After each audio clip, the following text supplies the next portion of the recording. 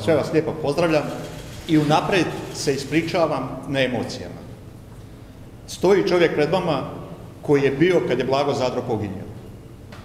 Dva datuma su u Vukovaru upisana, neću reći zlatnim slovima, nažalost crnim slovima. To je 16.11., 18.11. i 16.10. To je za dva dana kad je obljetnica pogibije Blage Zadre. Turbovod kojim sam bio pripadnik bio je tamo i kad je Blago Zadro poginio, mi smo ga izvukli mrtvoga. Gine pripadnik Turbovoda Zvonko Mlinarić. Gine da bi ga izvukli mrtvog. 16.10. ove godine Porfirije dolazi u Vukovar sa 11 vladika.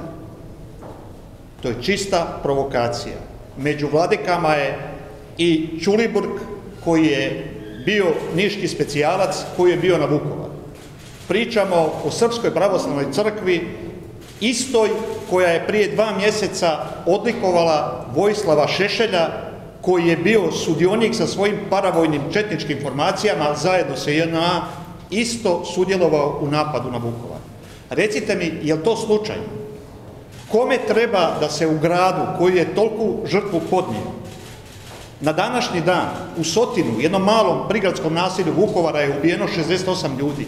Juče je u Marincima bila obljetnica proboja prema Vukovaru gdje su izginuli pripadnici antiterorističke jedinice Lučko. Kome treba da se 16.11. 16.10.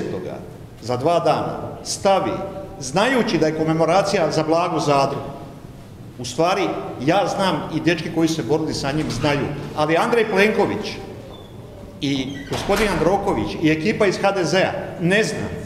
Ne zna jer nisu bili tamo.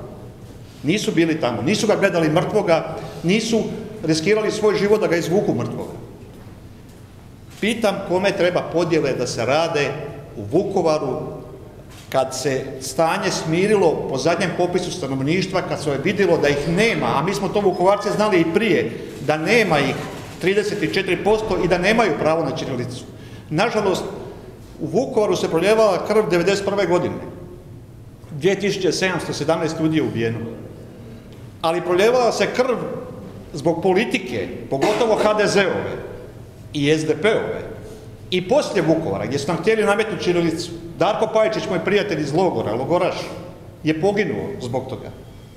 Kome treba danas da ponovo to radi? Za ovo što će biti u nedjelju 16.10 je kriv Andrej Plenković. On je jedini mogao da preko MUPA, preko gospodina Božinovića, odgodi, odgodi to njihovo događanje, da prebaci za tjedan dana kasnije. I s punim opravdanjem policija uvijek radi sigurnosni rizik. Ako imate dva događanja potpuno suprotna, znači imamo obljetnicu pogibije Blage Zadre gdje dolazi puno ljudi i iz Hercegovine odakle je on i rodom i iz svih dijelova Hrvatske. I imate 11 vladika sa Potfirijem koji je pjevao četničke pjesme i koji su slavili kad je Vukovar pao. Koji su slavili kad je Blago Zadro poginio. Imate u istom gradu na razlici od kilometar ta dva događanja.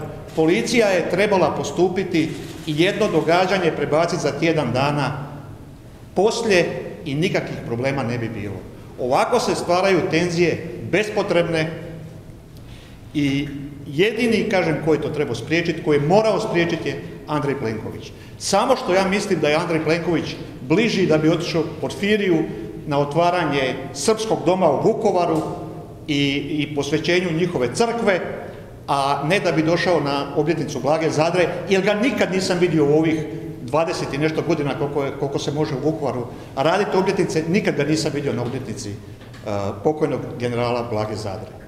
A da vam pokažem, samo da vam dam usporedbu, tko je general Blago Zadro, a tko su ovi koji su posvećivali puške i slali dobrovoljce u Vukovar uh, cijelo vrijeme rata, sve tri crkve koje su bile prije rata u Vukovaru. To su dvije katoličke crkve, to je Sveti Filip i Jakov i Gospa Fatimska i pravoslavna crkva koja je u centru grada. Cijelo vrijeme e, rata u Vukovaru mi smo držali sve tri crkve. Nije nam palo na pamet, niti Blagi Zadri, niti Alfredu Hilu, niti bilo kojim drugim zapovjednicima ili, ili braniteljima, da je ispalio metak prema pravoslavnoj crkvi, a kamoli da je zapalio. Oni su porušili dvije katoličke crkve i kad su okupirali Vukovar, minirali su ih i devastirali. Tu se vidi razlika između njih i nas. Tu se vidi razlika između Blage Zadre i Porfirija.